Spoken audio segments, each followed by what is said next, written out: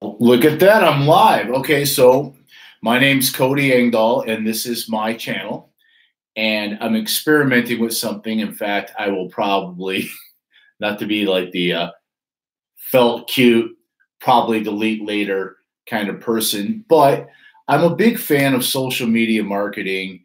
And I've been watching a lot of things of what people do on Facebook and on Instagram and on LinkedIn and right here on YouTube. And the funny thing is, when I first got started in social media, I was actually, uh, I, my YouTube channel was actually where I spent most of my time. Uh, this was probably in the mid to late 2000s. And I was living in Florida. And at the time, I was very much into uh, playing guitar. And so I spent a lot of time making videos about uh, I was you know playing songs and singing. I wasn't writing uh, too many things. I was I never thought of myself. It's funny. I wanted to be a a composer at one point in my life, uh, but not a songwriter. So I wrote. Uh, so I, I, would play a lot of tunes and sing, and and I had some. I, I had quite a few followers, and I and, and I had a lot of views, especially on. Let me get my water. It's right over here. Uh, I got a lot of views, especially on some of the. I, I, did a whole series of videos where I worked on. You know, just that. Um, where I worked on. Uh, I have a Telecaster. It's a Mexican-made Telecaster, Fender Telecaster, and I spent a lot of time uh, upgrading it. You know, that was the plan. I bought a. I bought a. The very lowest level you can get with the name Fender on it, Telecaster, made in Mexico. Great guitar the way it was but I wouldn't do this to an American made one. But I got a Mexican telly and I started changing things. I changed the pickups and the and the neck and all sorts of stuff. And those those videos got tens of thousands of views. And so but then somewhere along the line, I got away from that and I got into Facebook and I built up a following on that. I got about uh, almost 2,000 uh, friends on Facebook right now, which is where I do most of my social media marketing. And by the way, the reason why I do social media marketing, in case you didn't know, is that I'm an author, a fledgling one. I wrote my uh, first book. I published it last year. Actually, I've well, I've, i had a small, uh, a brief little book called "The American Civil War Was About Slavery."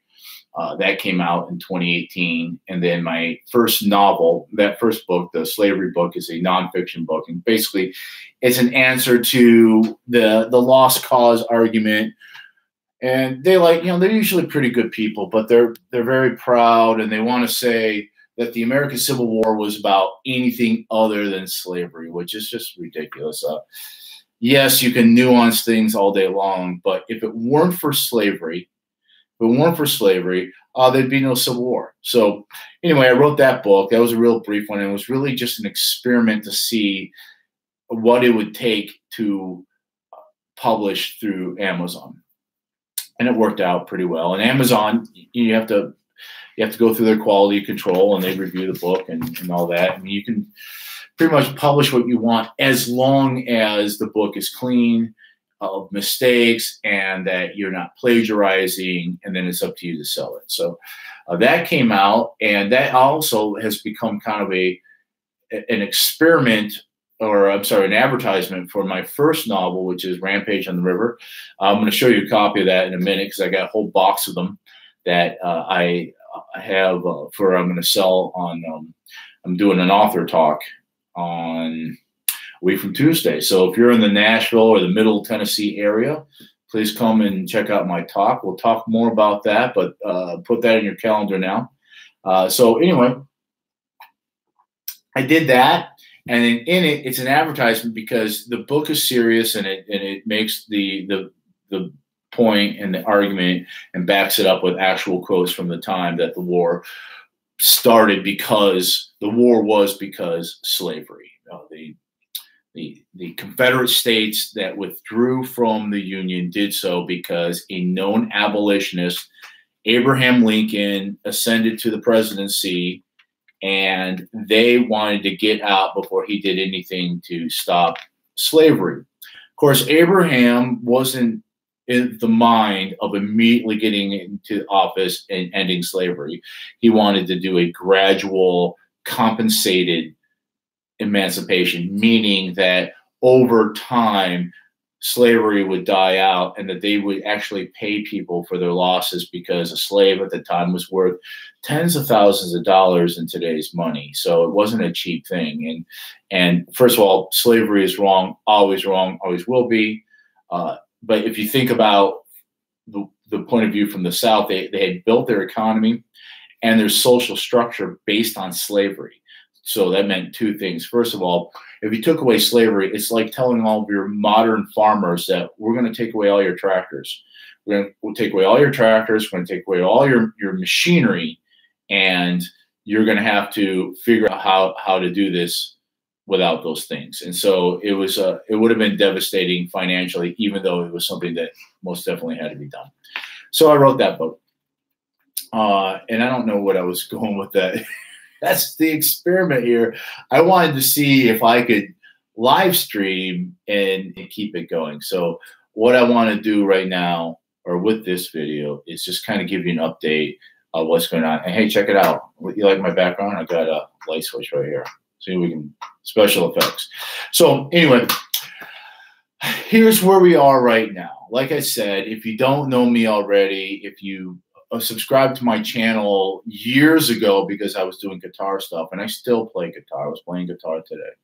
Uh, or even if you were subscribing to my channel when I was a reporter and I was putting up things uh, from from my television reports, um, and you're like, "What is this guy doing now?" Well, I'm writing books.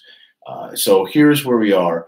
So the first book I put out was, uh, like I said, Civil the American Civil War was about slavery. That was a nonfiction book. It's very short. It's only like 30 pages. It's mostly just quotes.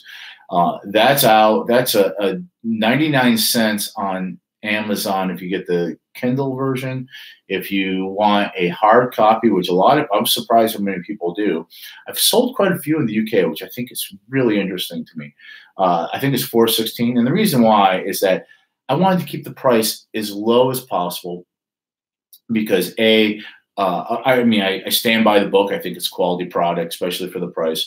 Um, I wanted it to be because so many people want to gaslight and say, "Oh no, it wasn't about slavery. It was about states' rights, or it was about tariffs, or preserving the southern way of life." And let me tell you something. I know you can tell from my voice that I am a Yankee. I'm from Detroit. Uh, I love the South, man. I do. I love the South.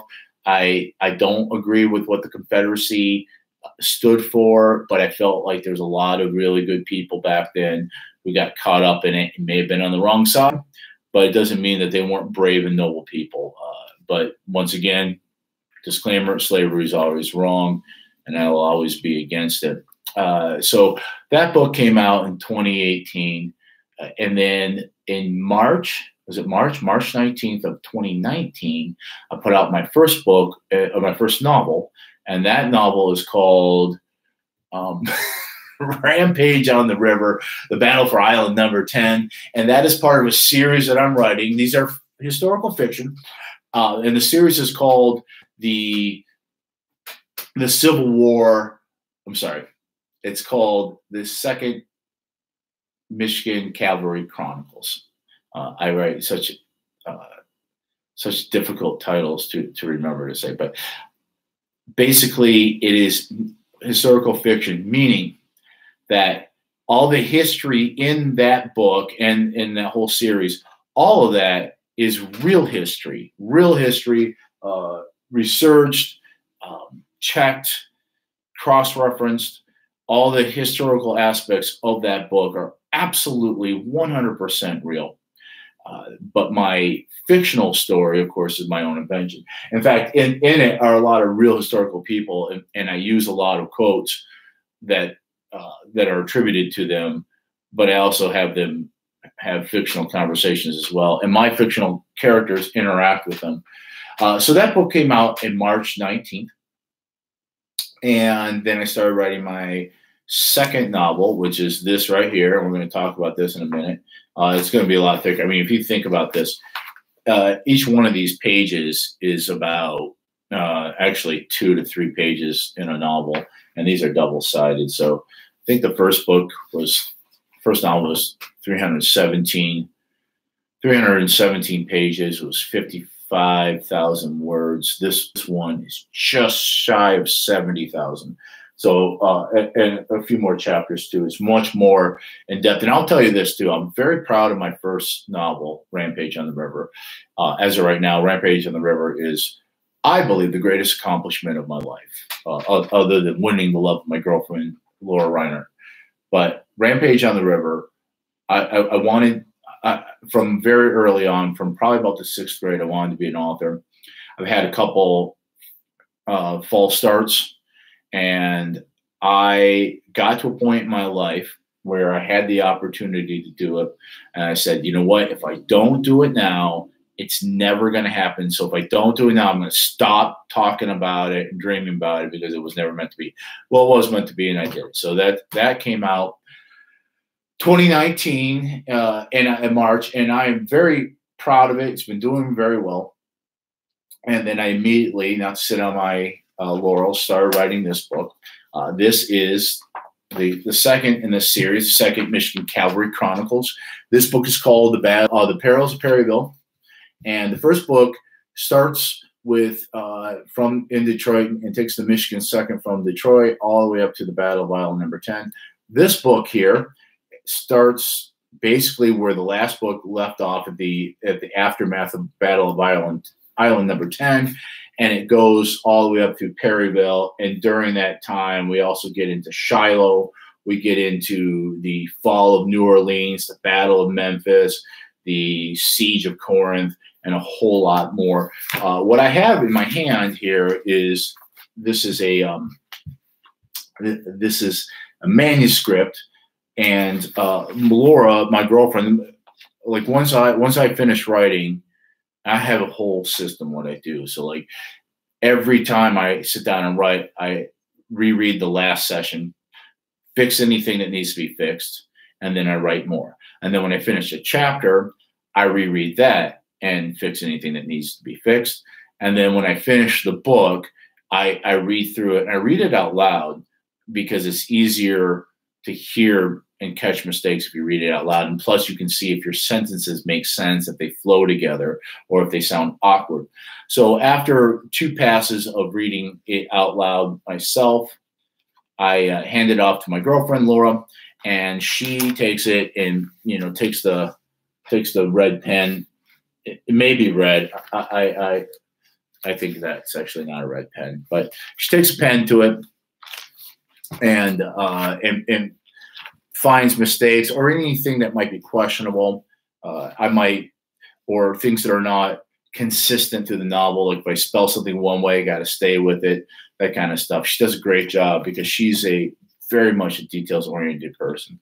So here I have it now. I, uh, I have, she's done with it. So now it's all on me. I have to uh, go back through and uh, find all the mistakes that she found and then fix them in the manuscript uh, I'm going to send it to my mom after that uh, to have her look through it one more time. And then I am going to read through it one more time. And then we're going to send it off to the publisher. And hopefully, uh, we're going to have it out. You know, I keep moving the date back. You know, I originally thought maybe I'd have it done in October. No. Uh, then, then before Christmas, no. Uh, then on New Year's Day, no. Uh, I wanted to have it done by the end of this uh, this month that was possible. Uh, excuse me, I'm gonna blow my nose on live YouTube. Uh, that was possible, but uh, it, I have a, a, an author's talk on January 28th, and it's it's actually my second one. But I really want, I really like the idea of doing talks, and I. Uh, and so I really want to knock this out of the park. I want anybody that goes to says, "Yeah, Cody Engdahl, he's a great he's a great guest. Book him for a talk. He he can really hold the room and, and, and tell a lot. So, uh, and plus, I have to, you know, I, I, just I've written an entire other book since I did Rampage on the River, and that's what my talk is going to be about, my first novel. So I'm working on that. I'm writing out an outline. I'm not going to read. I'm not a reader. I mean, I, I can. I've read teleprompter for television, but it was always better when I just shot from the hip, like I'm doing now, which might be a little bit of rambling. But once again, this is an experiment, and you know, uh, we'll see how it goes. Uh, uh, so anyway, I'm I'm thinking my birthday's February fourth. If you want to send a card or a present, no, my birthday's February the fourth, so I I'm hoping that I can get this out on my birthday and use kind of my birthday as a, launching point because you know on Facebook it'll tell everybody you know I got two thousand friends on Facebook, um, and it'll tell all of them that uh, it's my birthday, and so uh, I, I, will fall into their uh, their view, and I'll be able to say, "Hey, new book is out today. Happy birthday to me. Here's my book." So there, that's that. You got to do that. Uh, I have another book uh, I'm very proud of. So I have a, a, a WordPress account, and uh, you can find me there. Uh, thankfully, my name is pretty unique. There's only two other Cody Engdahls that I know of, but there might be more. But my WordPress account is it's a blog, and and sure, i am just going to tell you right now, this everything I do, uh, I'm marketing myself. You know, I'm, i mean that's what I'm trying to do. I'm trying to sell books, man. You know, that's that's that's what I do. Uh, but I also enjoy it, and I also feel like I'm, you know, I'm sincere. Like I really care about all my friends on Facebook and, and Instagram, Twitter, LinkedIn uh, right here. I'm hoping to start building an audience here. Uh, so, uh, but if you if you're interested in what I'm doing, what I got to say, please by all means uh, look for me on any of the social media you can think of. Uh, I'm on the, all the big ones. Uh, I haven't really gotten into. look at that Look at that kind of romantic. Kind of romantic. Strangers in the night exchange. Okay, um, I'll put it right there though. Uh, I'm on Facebook. Uh, friend me. I'm up. I'm allowed to have up to uh, five thousand friends, and I'm nowhere near that right now. So friend me on Facebook. I don't have an authors page. I don't. I, I just don't really feel like I need that. I I just have my personal pro, pro, profile. It's public. I don't put anything on there that I that I don't want to tell the world about. So I'm on there. That's where I, you'll probably see the most of me. Uh, I have a I have a group called Engdahl House Engdahl's House of Engdahl House of Readers and Writers. It's a place where I like to not only promote myself but other other writers and just suggestions. You know, I see a book that looks interesting. I might not read it, but I'll I'll post it on there. So if you're looking for something to read, maybe you're not even interested in what I got to write. Uh, you can you can find stuff there. I uh, I also have a band, the Inglewood Old Time String Band. If you didn't know, I'm a fiddle player amongst other mu- uh, musical instruments, but I probably find my home there with the uh, with the fiddle. That's definitely where I, um, uh, definitely my home instrument now. It's it's the only instrument that I require myself to practice every single day and I keep a log and I'm very active in, in, in trying to progress and get better with that. There's a bunch of other instruments I play that are more like bicycles for me, meaning that I don't actively work on them. I don't actively practice them, uh, but I pick them up and I tool around with them. Uh, mostly the guitar. Uh, you know, guitar guitar is a great instrument and i feel like almost every musician regardless of what you your main thing you might be mostly a singer a bass player a piano player well we'll talk about piano but uh, you know mandolin player banjo but everybody should have some kind of guitar skills or piano skills and the reason why i say that is because those two instruments are great accompanying instruments as well and so uh, it, you know, it's it's it's hard to lead or teach a song or, or learn a song on a fiddle that you want to sing. So, like with my band, if I, I do sing a few songs, if I want to sing a tune, I will bring my guitar out because it's easier for me to like strum the chords. And I'm not like, you know, I'm not one of those guys.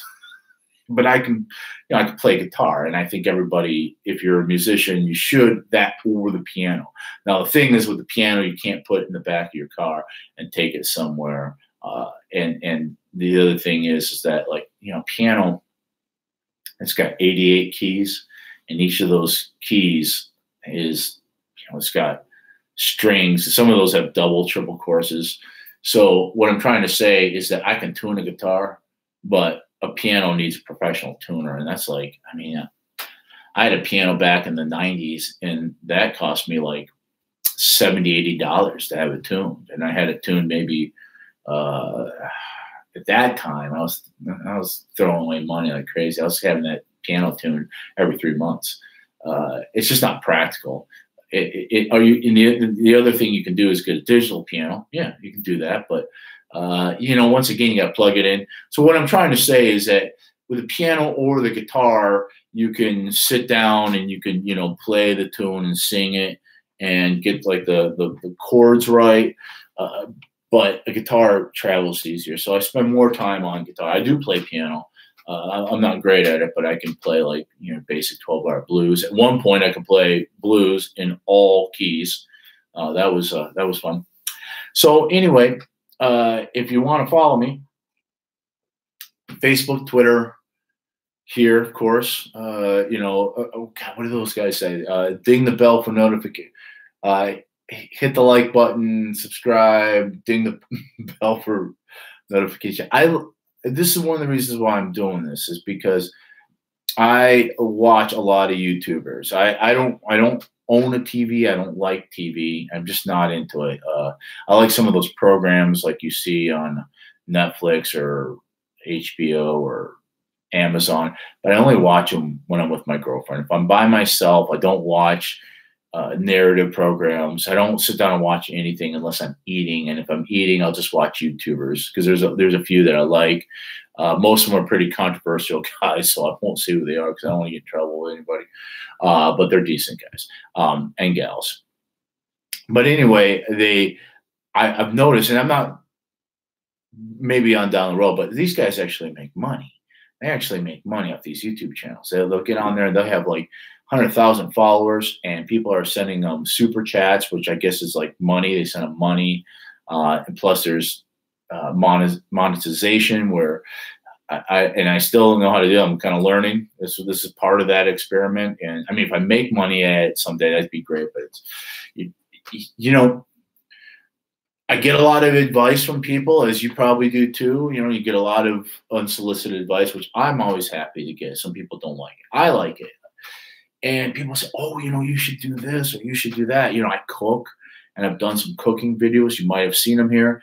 And people, oh, you should have a cooking show. Well, yeah, yeah, that would be fun.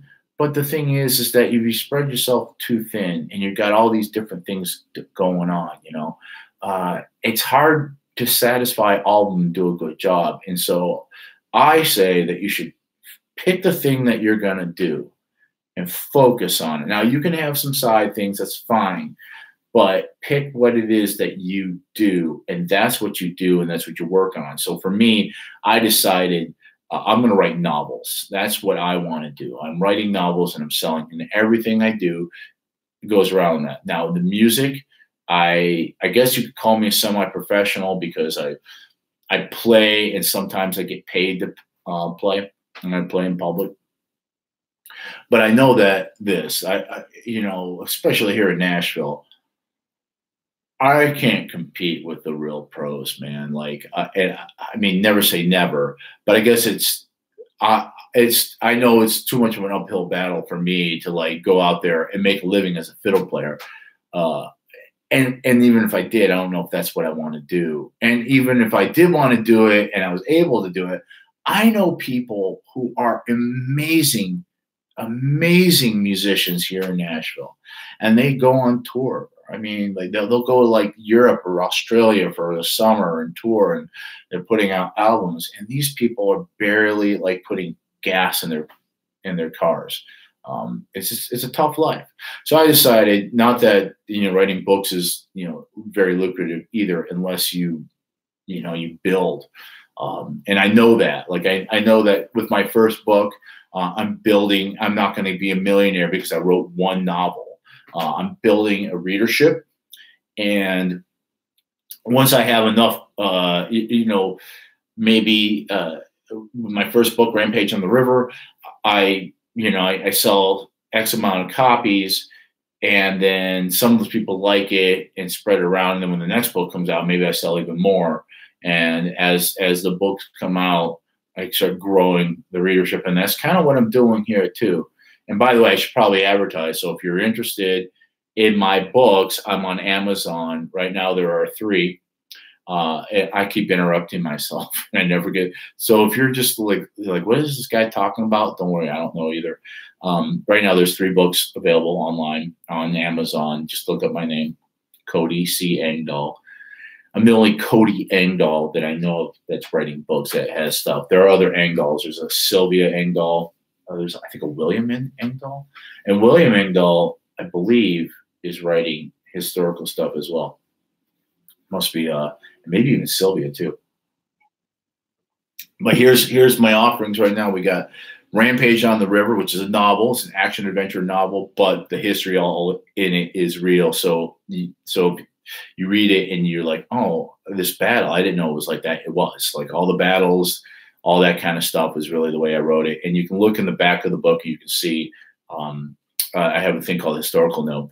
Uh, the other thing I know, I started talking about this earlier on. I got that WordPress account, and I wrote a bunch of uh, articles about how to write a novel and how to write publish and, and market a novel because I've done all three, you know, and, and, I'm not the most successful guy in the world, but I've done it. I've done it. And so I got things that I can probably help you if you think that's what you want to do too. That book, oh, so what I did is I took those articles and I compiled them into a book. And the book is called How to Write, Publish, and Market Your Novel. And that is right now available on Amazon. And once again, I try to keep my stuff cheap, man. So like that one is 199 for the Kindle version, 499 for a print version. Uh, so there's that and uh, and then there's the book about uh, the Civil War is about slavery. So anyway, let's talk about what's coming up here. So uh, I already told you that the second novel there'll be four books on Amazon when it comes out. The second novel, which is called The Perils of Perryville, that is due out as soon as I get the work done. I mean, probably within a month. Uh, and, and then I'll have four books one of the things that's holding me up is that I got invited. This is the second time I've done a, a book talk. This is the Sons of Union Veterans of the Civil War, Fort Donelson, Camp 62. And it's basically the the, uh, the chapter of Sons of Union Veterans here in Middle Tennessee, or or or at least in in uh, in Nashville ironically, my very first talk was last year, shortly after Rampage came out, and I did a talk with the sons of Confederate veterans. And uh, that was very interesting, and I was very touched by it, man, because I'm obviously a Yankee. I had written a book that said, "Hey, the war was about slavery, regardless of what you want to say." Um, but they were really great. Sold a bunch of books. Uh, I've, I've been friends with a lot of those guys since. So, so it's interesting that my first two book uh, book talks was Sons of Confederate Veterans and now Sons of uh, Union uh, Veterans. And so I'm putting together a talk. I'm really excited about it. And what I want, what I want to be able to do is, I, I mean, in the end, I, I'm just going to tell you, I'm very shallow. I'm a shallow person. In the end, I just want it to be entertaining. I want people to sit in those chairs and go, oh, that's really interesting. And I like how he, he presented it. So we're going to do a talk uh, about uh, I think the talk is called uh, the Second Michigan Cavalry from Detroit to the Battle of Island Number Ten, and I'm going to go in there, uh, and I've already started my outline. You know, first I'm going to tell you who I am, uh, who's really nobody, uh, but uh, when, but I'm from Detroit and I live here in Nashville. And when I decided to write this series, uh, you know, I, I love historical fiction. So I wanted to write uh, in the genre that I love, and I wanted to write a book I would want to read. And I picked Civil War because I had, you know, some familiarity with it, and not only that, but there's a wealth of resources. I mean, I basically live, uh, you know, on a Civil War battleground. I mean, there was a battle here in Nashville, which we're going to get to in the third book. and so I thought, okay, you know, there's there's there's tons of resources and there's a built-in audience. I think the American Civil War is probably the most uh, the most popular historical event that people follow history buffs like to follow, at least here in the United States, especially here in the South. And I have found that internationally too, like uh, there are Civil War troops in, in the UK, in Scandinavia, in, in, in Europe. So uh, that's all like um, the, the audience is there. There, and so I just have to reach out to them, and I'm doing. I'm slowly building this uh, readership.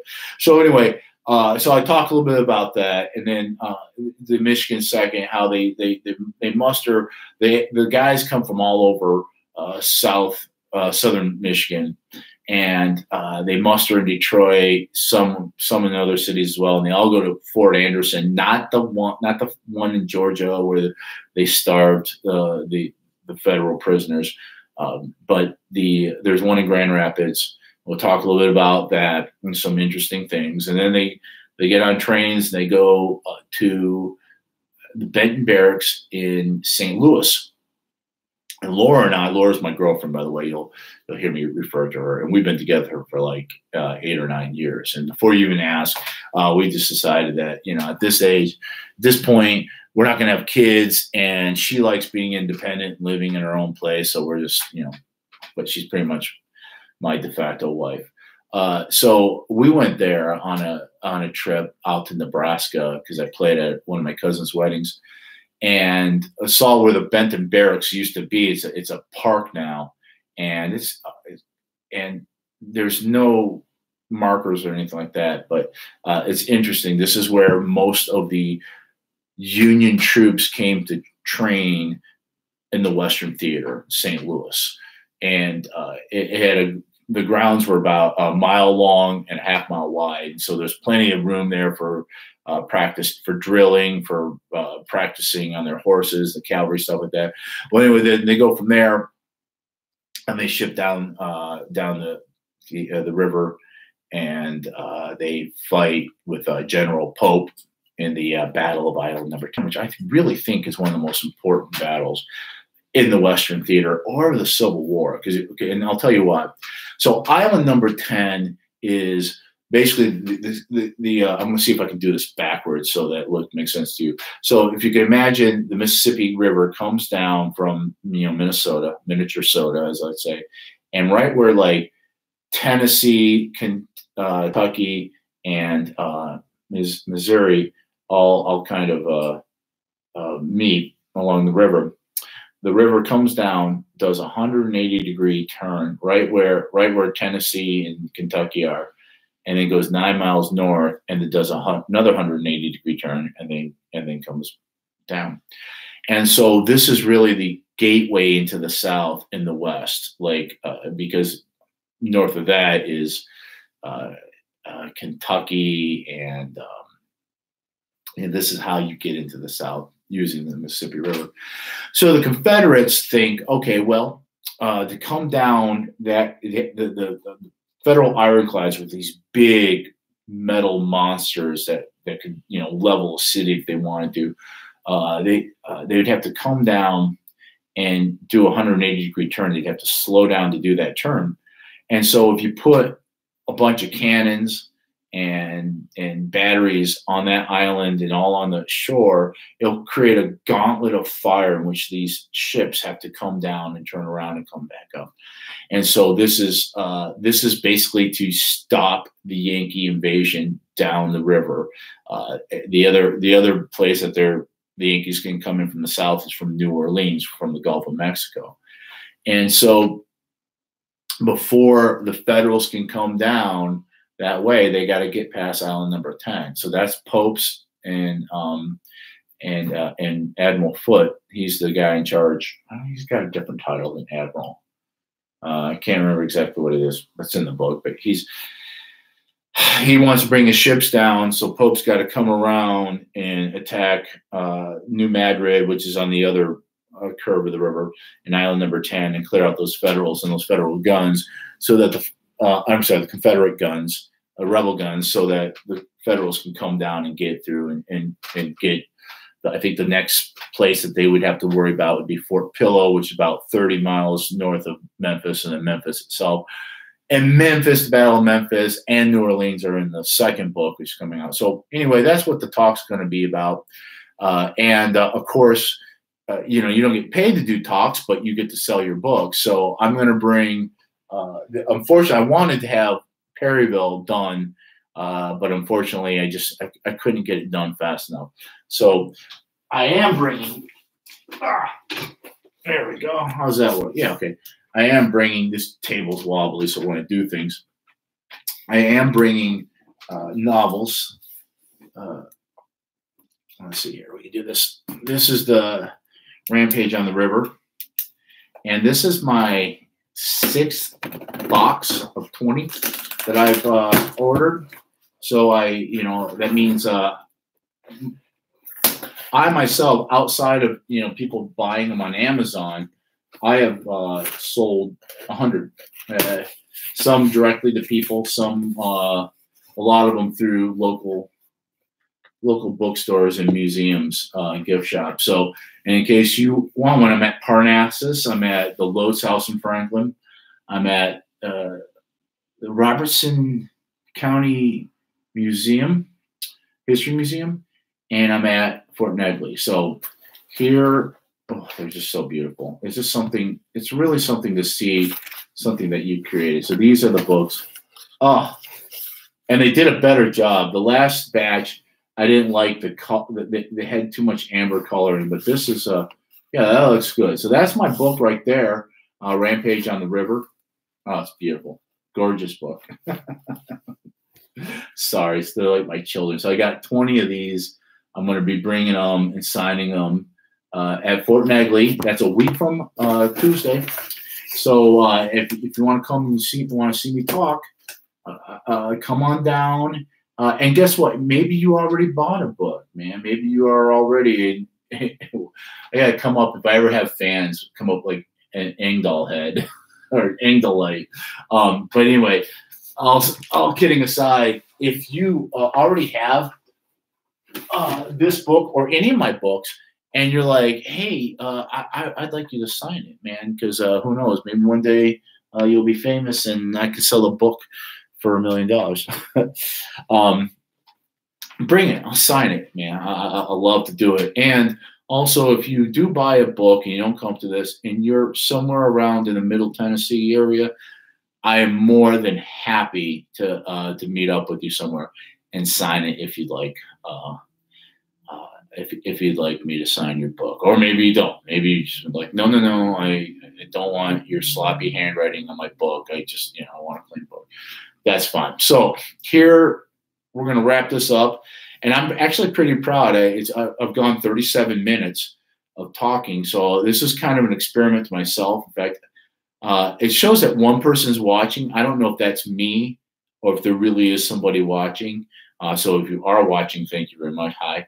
Um, wrap things up. Here's the updates. Here's where we are right now. Okay.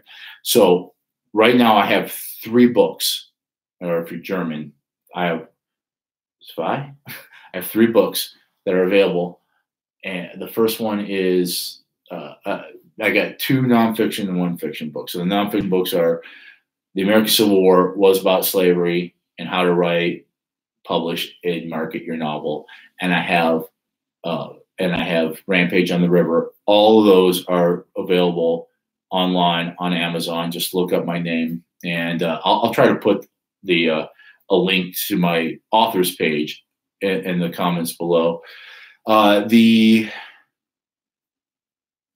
uh, the the second novel is coming out soon, probably within a matter of a couple weeks.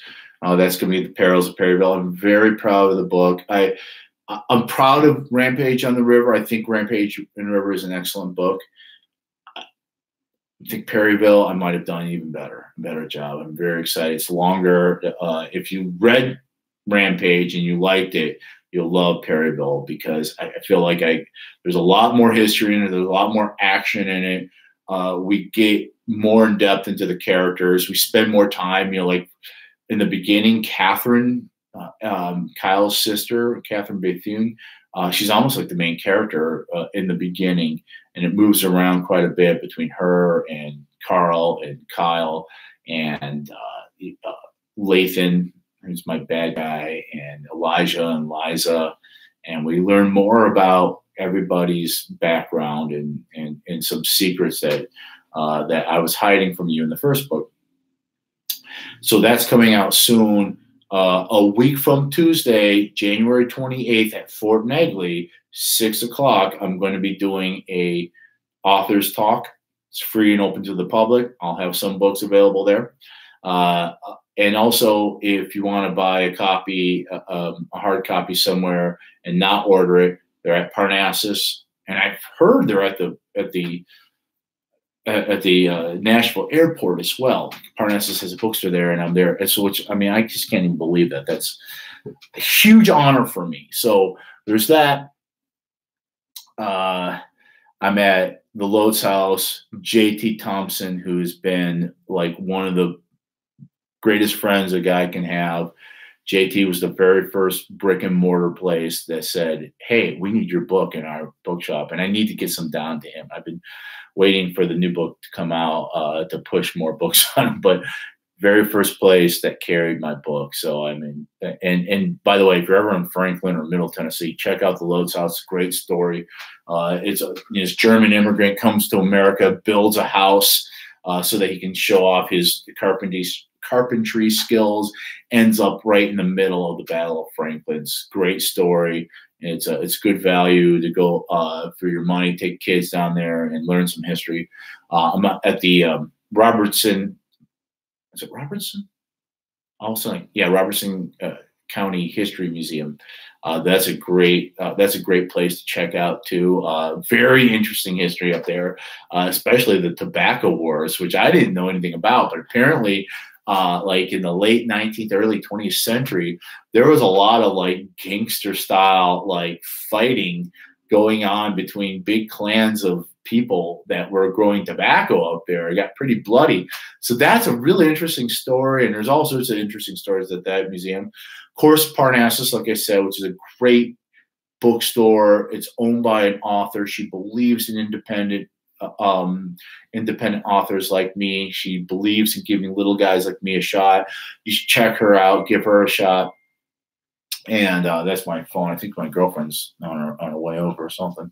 Uh, heading your way. Maybe we can walk. Yeah, we can do that. Um, and uh, uh, oh, Fort Negley. Oh, Fort Negley, man. Uh, like Fort Negley, right here in Nashville, and there's a there's a bookstore there, and you can go see like a a, a very well preserved uh, fortress right here. Oh, I should let her. I should let her. Hang on. Hold up. Hold up. Uh, heading your way.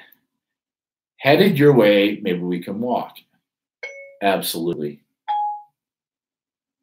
That's Laura, my girlfriend, and my uh, my editor. Uh, we uh, we like to go for long walks. You know, like the running. Uh, you know, it's so hard on my knees and and all that. So you know, so we walk like for an hour. Uh, so she's on her way over to do that. And uh, so yeah, I think I named all the places right: Parnassus, the Lotz House, Robertson County Museum, and Fort Negley. That's right. And then you can also get it on Amazon. And if you come to Fort Negley a week from Tuesday, I'll be there. And uh, that's it. If you got any questions, uh, let me know in the comments below. Uh, and like I said, I'm doing this because I actually like to watch a lot of these independent comic book creators. They have very, mostly because they fight amongst each other and it's just full of drama. so it's just cheap entertainment for me, but I, I like to watch that a lot. Um, and I won't say who I like to watch because I'll get probably get in trouble. Uh, but uh, anyway, thanks for watching. Even though if there's that one person who I think is probably me, uh, thank you for watching. If you watch this after I'm done with the live, thank you. I'm probably going to do more of these because I, have done this and now I kind of feel all right. I can, this is something I can do. So uh, anyway, um, I don't know when the next time I'll be live, but uh, that's it. And we'll talk to you later. And this will probably end abruptly, but uh, you know, here's the thing: whether it's one of my books or someone else, keep reading. And uh, I always have a book that you're reading. And whatever it is that you're doing, like you're a musician, you're a painter, uh, whatever it is that you're into, man, don't ever give up. Just keep, you don't have to make it a living off it, but just keep doing